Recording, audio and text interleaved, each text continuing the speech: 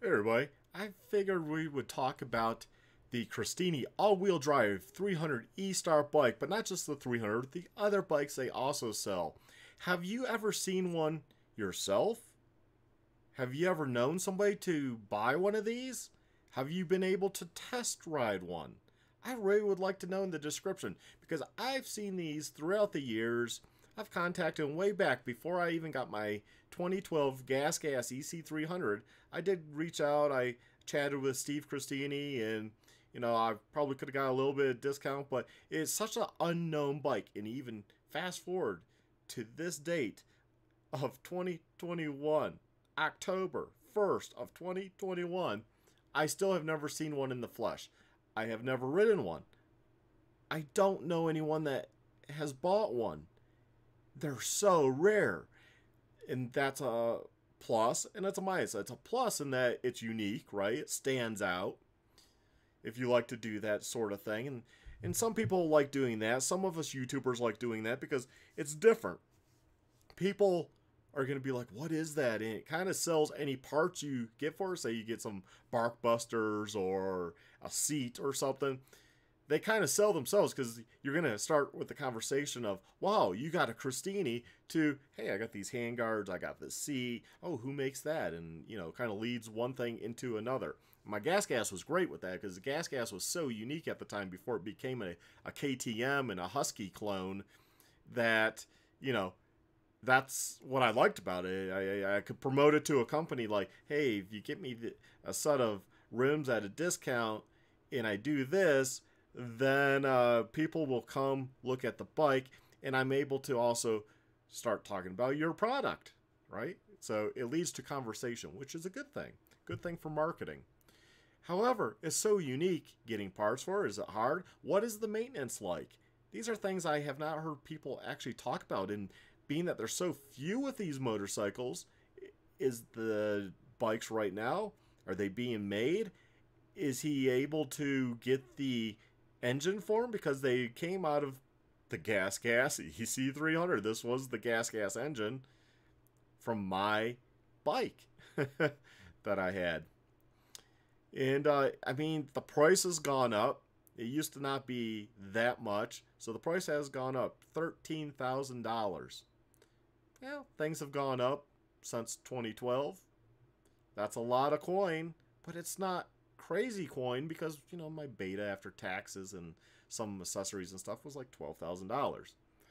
So you know it. it's really not that much coin, in all honesty, but it's uh it's up there. It's up there, and being so unique and unknown in getting parts for, I don't know how easy it is, and you know not knowing how the bike handles, how it works. Is there a lot of maintenance for that whole front wheel drive system? Once again, it's one of those things where to spend $13,000 on unknown, it'd be nice to rent one of these, to see one of these in the flesh. Don't you think? Let me know in the comment section because, I, you know, I'd like to know this. I would like to know maybe I should get one of these. And it looks like $350 domestic shipping or a $1,000 air freight charge to most international airports. So it sounds like they'll sell them around the world. I don't think Steve Christini is worried about selling a lot of these bikes, personally. It's so niche. And it, but it would be cool. The warranty for the one all-wheel drive system is one year, so they're saying that the all-wheel drive system will work for a year, at least it should. So here's the dimensions. Here's the weight. They're saying 249 pounds or 255 pounds with e-start option. So 255 pounds some people are going to be like, "Oh my god, that's so heavy," because there's weird people that complain about weight. There, you got people that weigh like close to 300 pounds that get one of these bike, and they're like, "Oh my gosh, 250." Well, if you're really worried about the weight, put down the Twinkie. Just saying. so fuel capacity is 2.1 gallons. They also have an auxiliary tank available for 1.5 gallons. I'm going to guess if you have the all-wheel drive system on, which I do believe you can still turn it off with a switch. that uh, you're probably going to use more fuel just because you're turning more parts and thus using more engine power. It's not dot approved street legal. They say that. I don't know what the title says. I don't know in Colorado if you can get it plated. We like to connect trails here, so that would also be a, uh, you know, a deciding factor on getting a bike if this was your primary bike in a state like Colorado where you can plate a lot of other bikes easily.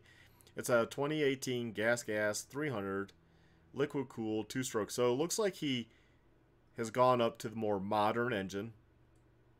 Modern engine.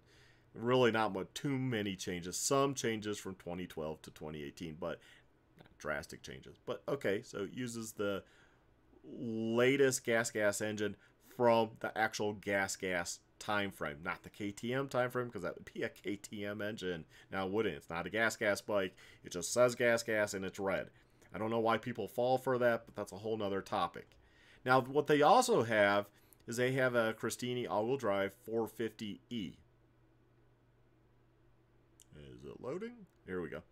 Christini all-wheel drive 450E. Ah, this one is $12,595.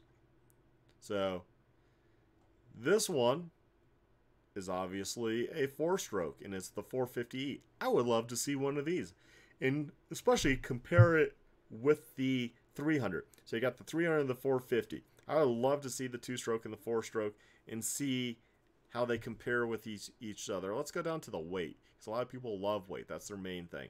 So weight. So jump into that four-stroke. It is a weight of 278 pounds. I'm going to guess that's wet weight. One, we can hope, right? It doesn't specify. It, uh, it only has 2.3 gallons, but you can get the 1.5 gallon auxiliary tank is available. I don't know what that tank looks like. Don't know where it goes. I don't know if it's the handlebar type extra tank. Let's take a look here. Look at it. It's a uh, it's a beautiful looking bike. You got the seat. It drives this up here.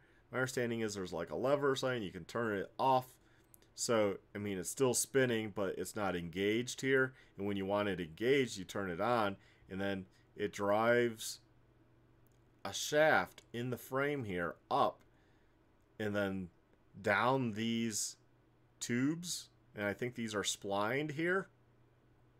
And that drives the front wheel. It sounds like a good system. And if it actually works on a lot of the loose stuff like we have in Colorado, it, might be might be a lot of fun. I would love to see one in person. Now, how do I close this window? Okay, hate sites that do that. okay, click back. Let's take a look. Oh, just a small picture. Well, I don't like that. I want to hide that. Here we go. Here's the engine. I do believe it's a Honda clone engine, so it's a Chinese engine. So your two-stroke, you're you're going to get a better engine because they're sourcing that from Gas Gas. It does look nice. I don't know how far this sticks out. Is it does that bother pe people's legs? Excuse me. I don't know why I'm so yawny today. Here's the other side so we can look at I mean, it looks like a nice bike. It really does look like a nice bike. Uh, do they have any close-up of the drive system? No, I don't see any. But uh, let's see. They also have a dual sport model. So you got the 450 Explorer. So click that. Here's the Explorer. $13,595. Wow. It really gone up in price. So if you want, if you're into dual sporting, all-wheel drive dual sport. Now this is playable. So I don't know why you couldn't get this. Let's see what what are they saying the weight is on this. So this is saying the weight is 298 pounds. So the weight's gone up. And this says 2.3 gallons with the one gallon auxiliary tank. You'll get and it's 45 miles per gallon or 45 more miles. For it says miles per gallons. Okay, we'll go with that. So you're not going too far, you know. You're going 90 miles plus another, you know, 45. So yeah, you're not going to do a lot of exploring. That's the other thing why I didn't really like these bikes. I don't know why they never had a custom tank made that kind of replaced the shroud here and kind of gave you that for at least for the Explorer, you know, maybe this is four gallons or something, and then you add that if you wanted, you know, five gallons of fuel. I don't, I wouldn't want to carry this fuel around all the time, so that that would be annoying. And yeah, you're getting mirrors light. I would like that stuff. I'd probably take that off. The rack's okay. I could use that on single try. That wouldn't affect me. That's a lot of money. $13,595. What else? They also have a, apparently a super motard, which I don't recall from before, so I don't know. That was something newer. But they have a super motard, and that's $13,595. So what do they claim the weight on that is? 288 pounds. So for whatever reason, made different tires. Well, it doesn't have the fuel, so 288 pounds. Let's see, what else is there? Got the E-Start. Apparently they do a military for the military. So the E-Start version, $12,995. And again, two, 255 pounds. I think the two-stroke is where I would like to mainly try. But like I'm saying, have you seen one in action? Do you know somebody with one? Let me know because I have never actually seen one in the wild. It would be cool to see these on my local trails. How does it perform? You know, I'm just saying, uh, they must not sell too many bikes because they don't do show. I don't think they do shows. I've never heard them come out to a show or anything. Here's the military version. Of course, they're not going to say how much, but Custom order only with 50% deposit. I'd like to see one of these in person. Just to see what the military, even if you couldn't buy it. But you can apparently get, you know, a Rekluse clutch and there's a bunch of parts here. Total add-on parts, $7,375. So you want all the parts. Billet, GPS protector, LED headlight, all this stuff. I wonder how much weight that brings it to. But so let's say what was it like fourteen thousand dollars just about for a four fifty. Add on another another seven thousand. That's an expensive bike. How much does it has the military bought any? Have, do you, are you in the military? Have you seen these? I'm kind of curious. But from my understanding is you can get the frame too and build your own bike.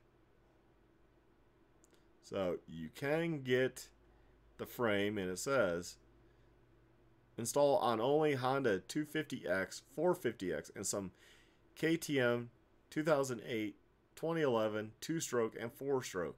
We are still working on KTM Adventure Kit in collaboration with Factory KTM to convert your adventure bike to all-wheel drive with a bolt-on kit. And I think they've been doing that forever. Forever. See? It kind of goes up, chain goes up, there's a transfer case, and it drives this shaft, and it goes up, and then down into here. so I, hmm. There you go, with frame exchange. It's a lot of money just for a frame. So it tells me if you break something, it's a lot of money, and they'll do custom kits too apparently. So i guess if you're hey want your goldwing maybe they'll do it. It's going to cost some money. But they also sell all-wheel drive bicycles if you didn't know. So fat tire bikes their bikes are pretty pricey too so i've heard. So go over to the uh, bicycle page i guess. There is it going to load. There we go. Let's see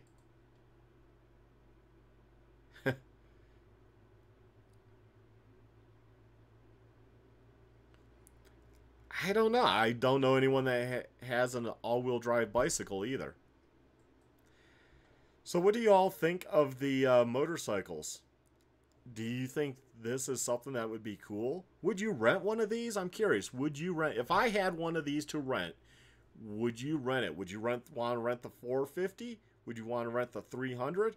Which one would you rent? I'm reaching out to my audience. See, because that would be cool. I'd get one and maybe I'd rent it out, you know, because no one has this bike. That this one, the 300, I'm more interested in actually the 300 for obvious reasons, and being an E-Star, I definitely would want the E-Start. And uh, yeah, I I, this, I think this would be pretty cool. Are all these parts basically gas gas? Otherwise, other than I mean the frame's not. But I don't know. I don't know. If you have one, is it easy to get parts? What's the maintenance schedule? What's the oil schedule? What's the scheduling for servicing this change, change changing out sprocket? Because obviously it's going to get wear driving a chain.